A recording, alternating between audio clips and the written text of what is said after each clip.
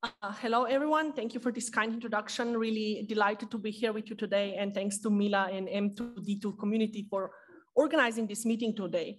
So I will talk about geometric machine learning for uh, molecular medicine. Throughout the talk, um, there will be several projects that will be highlighted. And for all of those projects, we have public data sets and code bases and um, pre-trained models and Hugging Face spaces available uh, and linked to my lab website, uh, Zitnik Lab HMS Harvard EDU that you're welcome to check out. So molecular sciences to me are very exciting because I feel that they are at the front of um, in kind of driving the incorporation and adoption of AI in scientific discovery more broadly. And, and to that extent, we're seeing now AI to be increasingly integrated in scientific discovery across all stages of scientific discovery process to augment um, uh, research, to accelerate research, and often to gain insights that could not be possible using traditional scientific methods alone. I think that there are tremendous opportunities in that areas and really excited about also where the field is moving and kind of these cross-disciplinary collaborations that are emerging. And so the progress is being made across different scales as well. We have heard today from earlier speakers on various um, uh, exciting directions uh, in the area of modeling individual molecules or mo molecular complexes. And kind of in addition to that, there's also lots of interest and development on modeling interactions as they also then give rise to networks and ultimately phenotypes, either at the molecular, cellular level or entire human bodies. And so the process here is actually two directional. It can, in one way, we want to increase our understanding and drive scientific discovery.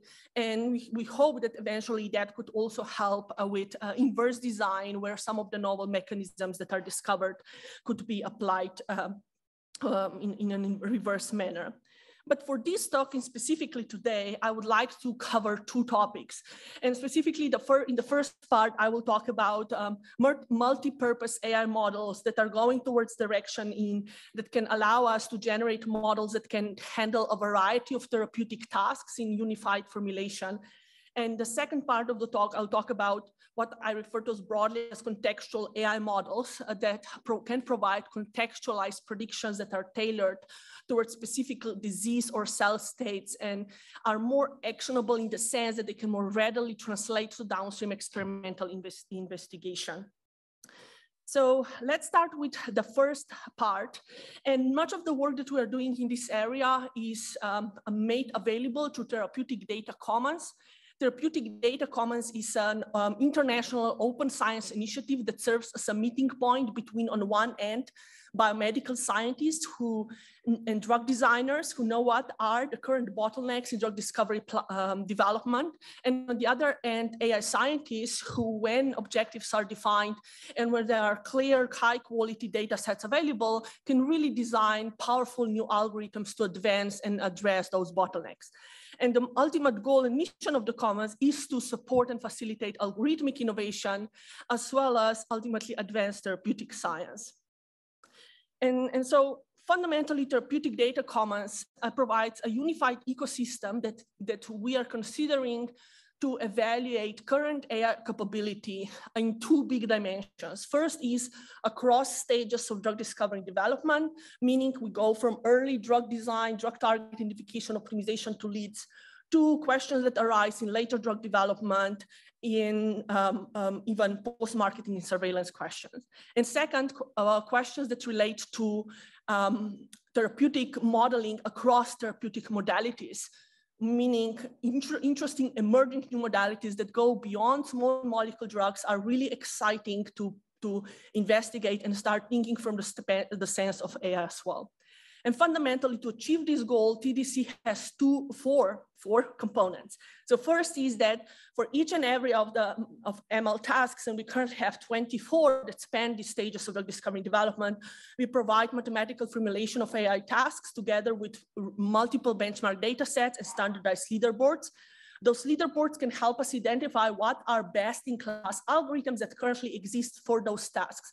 And they're evaluated across entire spectrum of performance metrics that go beyond measuring simple accuracy uh, and also touch metrics such as those re re relevant to deployment or implementation in practice. More recently, I would argue that becoming increasingly important to, to facilitate adoption of AI models is to release not only code, not only process data sets, but think of releasing pre-trained models. And so, uh, and so the Therapeutic Data Commons has some of the pre-trained models that ongoing development for key therapeutic tasks uh, released. And finally, it also provides interactive human AI uh, interfaces through which experts do, who do not necessarily need to have exp experience in machine learning uh, and coding can interact with those models, get predictions, and in some cases provide feedback um, that can be incorporated in those AI models. We have seen numerous compelling uses of um, um, AI in tasks that are currently included in the commons uh, that range from molecular property prediction and optimization to questions related to geometric modeling of binding of novel drugs to candidate therapeutic targets in various generative tasks. And for the purpose of today's talk, I will focus on one specific compelling use, and that's therapeutic, therapeutic use prediction, which is slightly different um, in its goals and data and algorithms uh, than uh, several of the other use cases that I think were wonderfully covered by our speakers this morning. So regarding therapeutic use prediction, here's the motivation for that. So what we are seeing is that biomedical data are generally generated and collected on very diverse set of entities. Uh, they, those readouts can be generated at the level of genes, uh, at the level of proteins encoded by those genes, at the level of regulatory elements, and they can be generated and recorded through different kinds of biomedical modalities. And so what we would like to have is we would like to have large AI models that would be trained on that data that is recorded from different modalities in a self-supervised manner so that they can then eventually solve new tasks, typically in zero-shot manner with no or very little amount of labeled data. So what I will um, describe in the next few minutes, I will walk you through a method and a model that we refer to as TXGNN, which stands for Therapeutics Graph Neural Network, that is a model that is trained on an integrated uh, multimodal uh, biomedical data set, which is a large knowledge graph that currently covers 17,080 clinically recognized diseases. And for each and every of those diseases, a large molecular uh, set of data sets collected around those, that disease. And it is trained in such a way so that once trained, the model can process various therapeutic tasks. And therapeutic tasks for us here mean tasks related to predicting indications, meaning for a novel drug or an existing drug, what are its potential uses, also known as indications. Um, and for, for this, uh, in, the, in, in, a similar way, also predict contraindications, which are certain phenotypes that in which those drugs should not be um, used and not considered uh, for human treatment. And we all we want to do that in a unified formulation, meaning we want to have a single model and then borrow information across this entire range of 17,000 diseases. So the knowledge graph that is being used for TXGNN model is called PrimeKG. It's precision medicine oriented knowledge graph that we have put in quite a bit of effort to compile over the last two years or so. Um, it's a large comprehensive knowledge graph that's publicly available. And importantly, I think a unique feature, that there are two unique features. First is that it has covers the entire range of human diseases. So in contrast to other knowledge graph, the focus is really that we want to cover a large number of diseases, primarily also those for which there are currently no existing treatments. And second, um, is that that knowledge graph can be easily updated when new data become available to the sense that we provide Python codes that one can easily run and generate a new version of PrimeKG at any point in time. And so existing research for predicting therapeutic use generally operates in the following sense. We have this large knowledge graph and fundamentally we're thinking of predicting associations or in the simplest case, you can think of that as links between some entities that represent drugs or candidate drugs, and some entities that represent summaries of diseases. And the way this is generally done is that one develops models of their own choice and then valid, evaluates model performance by performing some random split across drug disease pairs. And we'll refer that as scenario A. And so under this scenario, many existing methods perform really, really well.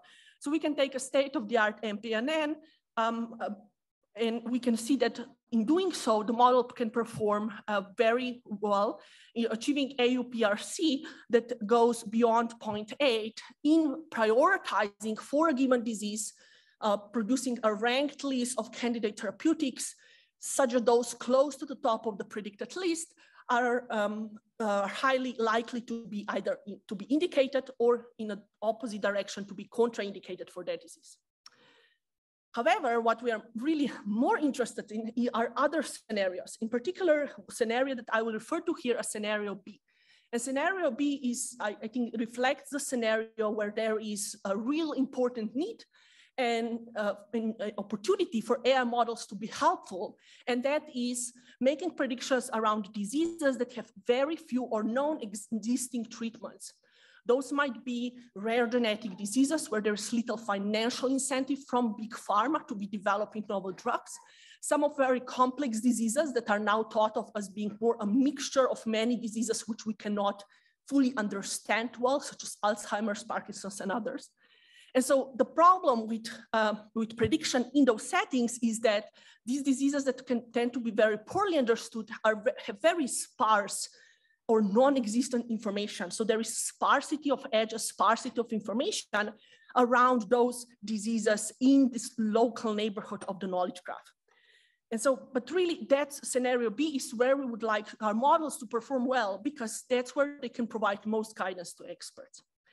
So really, if we now evaluate existing methods under this scenario B, we can see that performance drops considerably. It drops to the level that the model become really not helpful or not of sufficient quality that could be reliably used for hypothesis generation. So the challenge becomes, can we train models in a way that we would be able effectively to transfer information from diseases that are under scenario A that um, are more better understood, that have some existing therapies, to those diseases with very little scarce uh, therapeutic information um, available. And ultimately, the, the way we would like to do that is to make be able to make prediction even for diseases with known treatment. So we want to have models that can predict in a zero-shot manner. So TXGNN model is a model of that kind. So, so it consists of two big components.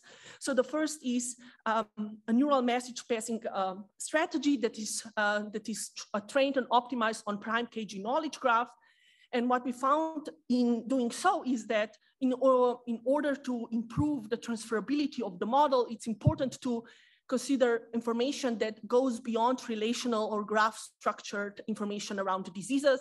And that is what the model um, can integrate as well through, through a, a, fusion strategy that can bring together in information around disease mechanisms and disease signatures together with re latent representations that are optimized on the knowledge graph in order to generate better embeddings uh, for diseases as well as for candidate therapeutics. So the guiding principle of how the model operates and the guiding principle for several of projects in, in my group are the fact that for many complex diseases that are diseases that are not Mendelian in nature, they are generally controlled by more than one gene. And even that might be even beyond that, that many, those genes can have different kinds of patterns and different kinds of mutations uh, in different cells that lead to the same disease. So what effectively that means that we need to take a more network-based approach when we are trying to interpret and find a representation of how a disease looks like and what are then areas that one can target to therapeutics. So a way to interpret these genetic events is that we construct some form of network, represent each and every disease that we refer to as a disease interactome. It generally consists of genes and other associated biomedical concepts that, that are dysregulated in the disease. And so then drugs can be thought of as or modeled as those external agents that target these small biological systems that represents diseases. And they target interactomes that are uh, larger than those that are encoded by single genes. And so in, in that sense, then we have much more flexibility and a broader view of how we can think of diseases as it does not become simply a set of genes that are associated with the disease onset and progression, but more broadly, it consists of additional biological processes and, and, and their dysregulation uh, that, uh, is, um, that leads to the disease that a therapeutic can then mitigate. And so that's exactly what TXGNN leverages so that it learns these disease-specific interactomes that are perturbed in disease across mm, a broad range and of disease spectrum, and then effectively transfers that signatures of those disease models from one disease to the other. Specifically then, we are interested in if we can do that well when making a transition to disease that is very poorly understood. So that effectively means that we want to evaluate TXGNN performance on new diseases that were not encountered by, the model during training time, and even disease areas that the model has never seen before. And so that I'm showing here on the right part of the slide, evaluation of TXGNN model under these two scenarios that we discussed before, scenario A and scenario B. And under scenario A, we see some lift in performance offered by TXGNN model, but the part that we're more excited about is scenario B, which is the lift in performance by the model when it is asked to prioritize therapeutics for diseases that currently don't have any treatments. And that's most significant because prevailing algorithms all rely on the assumption that for a given disease, there are already many or some existing treatments. And then the question becomes, can we effectively learn a good metric that co co correlate chemical compounds to each other and then transfer that to new disease? So when there is no, there are no existing treatments for the disease, it becomes really challenging for existing method to perform well. Now we can split the data in numerous different ways and we are seeing that TXGNN improves over existing methods quite substantially leading to 49% uh, improvement in uh, higher accuracy in predicting indications and or 35% improvement in accuracy predicting contraindications. And it can do so when it is exposed to entire class of diseases or disease areas, such as disease of cell proliferation or disease of adrenal gland that the model has not seen before. And here performance is evaluated as recall at 100, meaning that we ask the model to make top 100 predictions and then evaluate what percentage of those uh, are potentially valuable. Regarding novel predictions that the model make, that's always something that we, we, we want to do to evaluate if model can potentially generalize beyond the, um, the kind of existing knowledge in science, and also whether it can perform well in settings where we have control over data leakage and, and, and, and related biases. So here we ask model to make novel predictions for um, entire disease range. And then our hypothesis was that if novel predictions of therapeutic use are of any value, we would expect that those predictions are consistent with off-label prescription use in large EHR systems. So those are, uh, those are the usage of drugs that are used in an off-label manner, currently not approved by FDA, but are done by clinicians at their own um, uh, their own decision. And we, we would expect that Arnold predictions made by the model, if helpful, should be consistent somewhat with what the model says. So here we teamed up with our collaborators from Mount Sinai Hospital, and we analyzed with them 1.2 million electronic health records of patients across 480 diseases and 1,200 drugs. And there is tremendous amount of background data processing here. But what we eventually found out is that if you look at top one, top five, or top 5% predictions that are, that are made by the algorithm, the enrichment of those predictions in off-label prescription use is comparable to the enrichment we would see if we compare uh, our model predictions with FDA approvals. And so that indicates strong potential of, of uh, those novel predictions as potentially being therapeutically valid. Uh, can also predict therapeutic use for recent FDA approvals. And because we can log PrimeKG knowledge graph at any point in time, we can really simulate these retrospective studies. And here I'm showing one example where we did that for um, June 2021 and then ask the model to make predictions after that date and compare those predictions to recent FDA approvals. One thing that is important for us in addition to model and algorithmic development is to think about ways to provide um, those these algorithms as tools to end users, which in our case are biomedical scientists, genetic counselors, uh, clinicians. And so to that extent, we developed an interface that we call TxGNN Explorer that's publicly available at txgnn.org that supports scientists in interacting with AI predictions and interpreting conclusions of AI analysis. And so that entails not only providing static prediction lists, but also providing explanations that the model is using for making uh, predictions.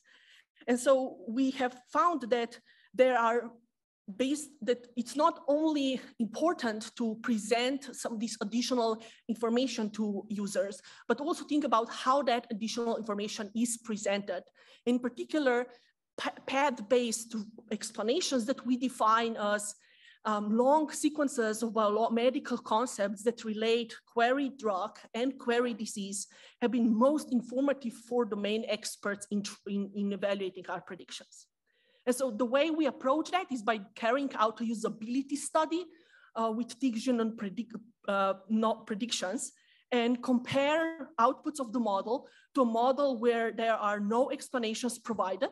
Um, and do, did the evaluation across several usability questions regarding the accuracy that, uh, with which humans can make decisions about uh, the uh, about the therapeutic hypothesis with or without uh, model predictions, with and without model predictions and explanations, the amount of time it takes them to make an informed decision whether a prediction is trustworthy, as well as user confidence and user agreement questions.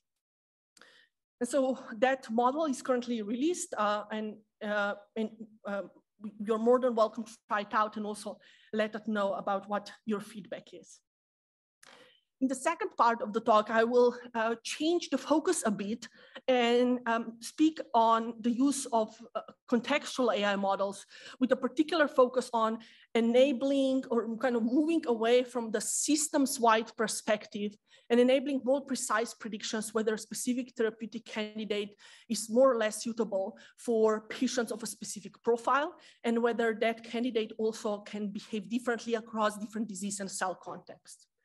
So here's the motivation for this work. And we can think of words or genes and the pro protein products that those genes encode in, in somewhat corresponding manner. So the meaning of words as well as the meaning of genes arise from their context. So we can take the word apple, it's a polysemic word. We can grow an apple, we can buy an apple. And the meaning of the word apple really is depends and it's resolved via this sentence context. So the same is true in biology. We can take a gene, H2AFX, and that's pleiotropic gene, meaning that the function, the role that the gene and its gene products will perform in a cell are resolved by with a cell context. So the same the same biomedical entity can have different role and function in different contexts. Now, those contexts can be defined in different ways. They can be different groups of cells or disease states, or in the specific uh, uh, example here, the contexts are defined as environments that are, um, that are defined by specific chemical compound between which um, that uh, gene uh, um, and uh, cell expressing that gene is found. So with that understanding in mind and the importance of resolving the function of uh, molecules by considering biological context in doing so, we um, embarked on a project where we are interested in contextualizing protein representations and use as context large molecular single cell atlases. So we are seeing an incredible amount of, uh, of really remarkable algorithms that can learn powerful protein level representations. And I think those are great algorithms. And generally they provide the number of embeddings that they provide if you are limiting to those proteins that are encoded by genes is that you get one embedding, one signature latent representation per protein. What we argue is that that's not sufficient, that we can do much better by providing a number of those signatures for the same protein across different contexts or cell types. So the project we developed is called AWARE. Um, that approach is based on the data, which is um, integrated um, protein human reference protein interactome network that's integrated with molecular cell atlas that comes from Tabula sapiens, which is the current reference human cell atlas. And once that network is uh, built, we develop a multi-scale geometric deep learning model that can generate those contextualized protein representations. So the way this works very briefly is that from the molecular cell atlas, we identify over 160 different cell types, which serves as biological context. For each cell types, we construct a cell type specific protein interactome, which are those pink blobs that you see on this slide. We then relate those cell type specific protein interactomes with each other based on known biological hierarchies. So it means that we have, in addition to cell type specific interactomes, we have these green nodes that represent cell types. Those cell green nodes representing cell types are connected to tissue nodes that represent human tissues. And tissues are connected to each other based on uh, tissue hierarchy cell types are connected to each other based on the strength of communication between cells in a given cell type. And so the, once we have this multi-scale network representation, what AWARE does is learns representations of proteins in each cell type specific network while adhering to these larger constraints. Meaning that for two proteins, say P1 and P2, if they are connected in a given cell type context, then their representations in that cell type will be pulled together whereas then representations of, uh, of, of, proteins that are not connected within that cell type uh, specific network, their representations in their context, in that context will be um, repelled and, and pushed further away. And the same is true then at the cell types level and the tissue level. So we have this multi-scale uh, hierarchical tissue embedding. I will wrap up with just one story on the use of this kind of protein contextualized protein representations because it now means that we can ask questions that are related not only for a given protein, what its representation looks like, but for the same protein in different cell types, how does that representation and potentially the function of the protein changes? So the specific use case that I will highlight relates to contextualized prediction around drug target nomination.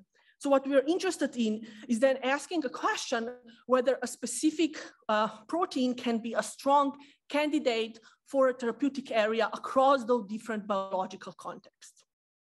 The way this is done technically is that we use AWARE as a pre-training algorithm. And then once we have contextualized protein representations, we can fine tune them for this specific downstream task. And so the two downstream tasks that we consider here are two therapeutic areas. The first one is that of rheumatoid arthritis. The second is that of inflammatory bowel disease. For each of those two areas, we identify what are the existing drugs and drugs in development for the two of them and their mechanisms of actions, which help us identify a set of positive targets for each of those two areas and a set of negative targets, which were defined as proteins that are druggable and are considered as targets, but not for any disease in that same therapeutic area. So this was okay, then a harder uh, setup. So how do results look like? So let me explain how to interpret this plot. You can see that on the y-axis is um, average precision recall at top five, meaning that what we do is we ask the model to, uh, for a given therapeutic area, rheumatoid arthritis, to predict in on a, given a particular data set, um, a top five um, candidates and ask how many of those top five candidates are then known therapeutic targets for RA. And now we can do ask this question um, based on different data sets. And so what every dot in this plot shows a different biological context. We have over 160 contexts, which are 160 cell types. What, what this tells us is that there are certain cell types, certain biological contexts that are much more predictive of therapeutic targets than others. In contrast, if we don't consider context at all, which would be the current state of the art approach, performance we get is performance that either is this bottom um, uh, dashed gray line that represents a models trained on a single human interactome that's not contextualized, or we can take a multi-model integrative approach that essentially just uses data across all 160 cell types in the best way possible. And we can get, in doing so, we can get, we can get to the levels that is achieved by a model that is shown here as um, a red dashed line. And we can see there are many biological contexts that are much better in their prediction performance. And then we can start asking questions for a given therapeutic target. Here I'm showing an example for IL6R, which is a, um, a target of uh, several of uh, anti disease modifying anti-rheumatic drugs. What are specific cell types where that, uh, whether that target is more expressed and how informative that specific biological context and cell type is. Similar results uh, can be demonstrated uh, for uh, IBD, which is a different therapeutic area. And again, we see that biological context considerably improve predictive power of models to identify nominate therapeutic targets. So let me wrap up with my talk today. I covered two topics. The first was that on creating uh, multi-purpose models that can process various therapeutic tasks in a more unified manner. And second was that of contextualized AI models that can provide rep latent representations that are specialized to relevant biological contexts and demonstrated how that improves performance of uh, therapeutic models. Um, and so with that, I'm happy to take questions if there's time. Thank you.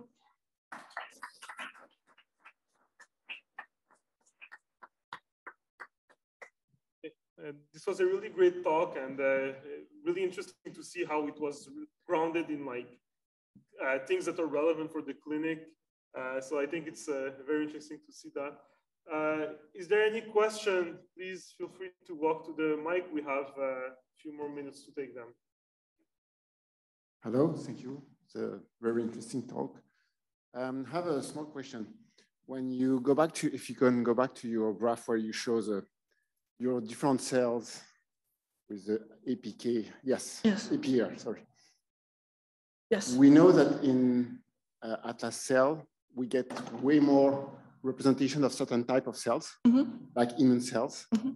So is there any influence of the number of cells we got in your uh, models at the beginning uh, in, in terms of result of the here and the APR results? So that's a that's a great question, and it's particularly important given the current state of molecular cell atlases, where it's certainly easier to probe certain cell types uh, than others, which then can naturally lead to the kind of biases where the symbol number of cells extracted by experimental platform can vary by cell types. And that is a confounder rather than biological effect.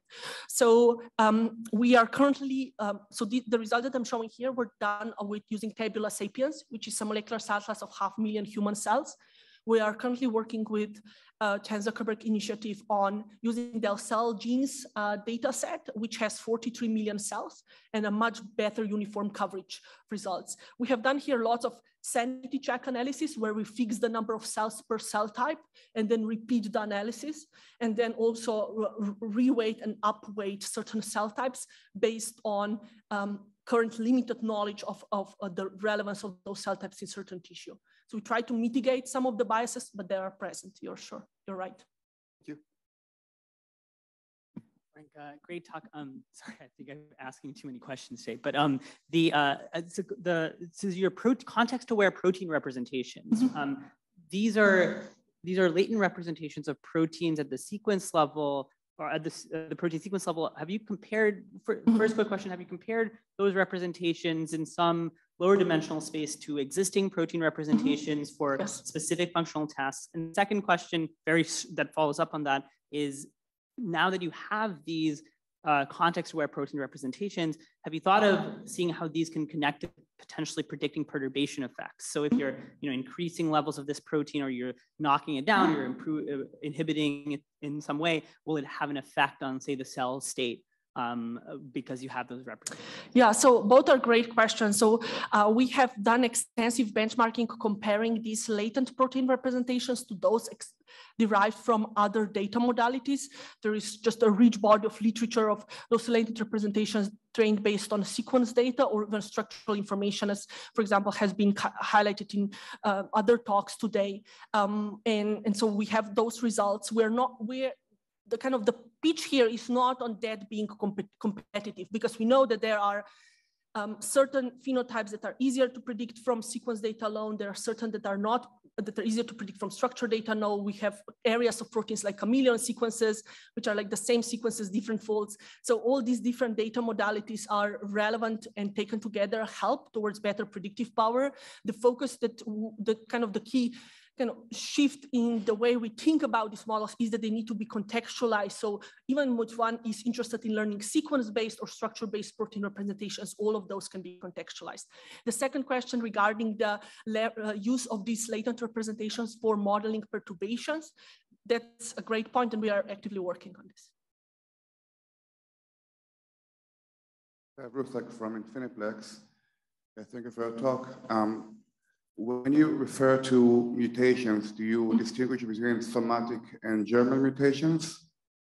Yes, we distinguish between those different kinds of mutations, um, both somatic and germline mutations, as well as then whether those are structural variants or single nucleotide variants, whether and in what regions of the genome they are found. Also, I assume to chimerism in the body, chimerism in the body where you have two kinds of sets. Sorry? Chimerism in the body when you have two sets of different uh, genomes in your body. Yes, so that's a great point. We currently don't have a solution for this problem. It's known as, um, in, in, or to be able to model mosaic mutations, if that's what you mean. Uh, but uh, we have some active collaborations in that area. So we certainly are very excited about extending these contextualized models first to a, large, broader set of cell types. Currently 500 distinct cell types in human body are, are really what is documented well. We know human body has 37 trillion cells, so that's well beyond the, the scope we could handle.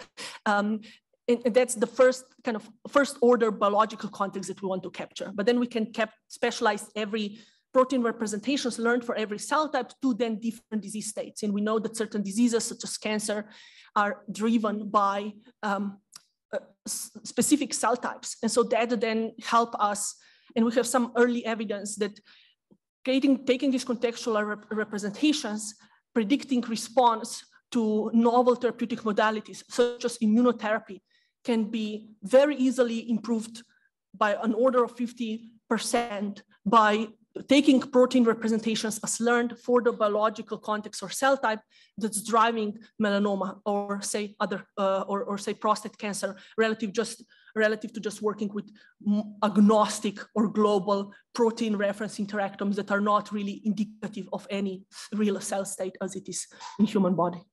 Thank you.